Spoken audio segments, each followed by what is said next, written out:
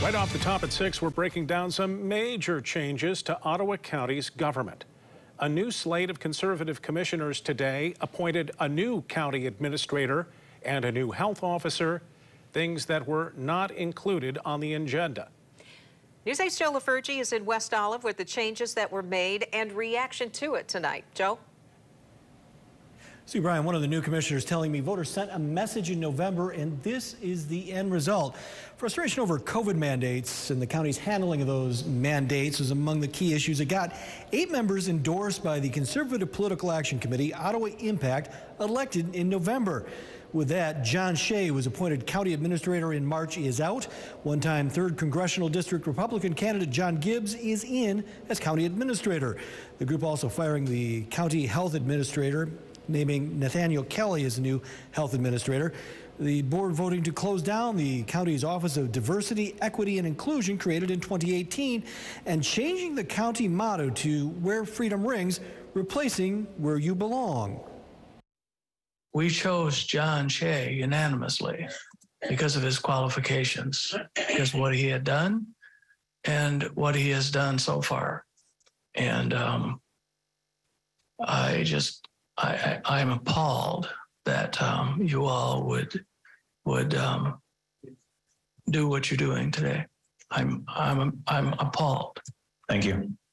I'm going to state for the record. Um, it was advised that this could possibly happen today, and I came to you and I specifically asked if this was going to happen today, and I was pretty much told no.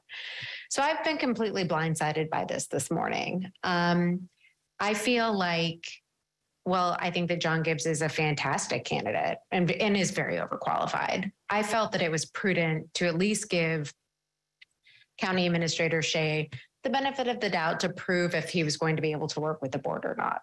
That's what I recommended. So I will be voting no on this because of that, not because I don't think that John Gibbs is a fantastic candidate. I believe the uh, uh, this was a culmination of a lot of um, people involved, uh, a lot of voters.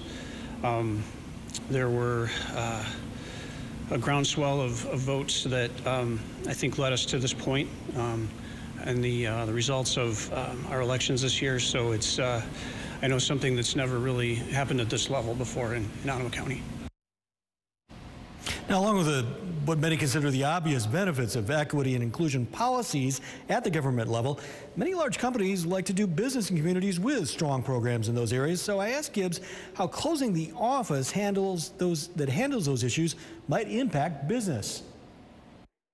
Well, they're going to want to invest here because they can get high quality employees, and their employers are going to have a high quality of life living in our great Ottawa County here. So that's why companies come here. We're going to actually continue to improve that. We're going to continue to improve the um, quality of life. We're going to be working with the Sheriff's Department. We're going to be working with everybody to make sure housing is affordable and, and all the other items on the agenda. And we will have much more on the Ottawa County shakeup tonight at 10 and 11. Live in Olive Township, Joe LaFurgey, News 8.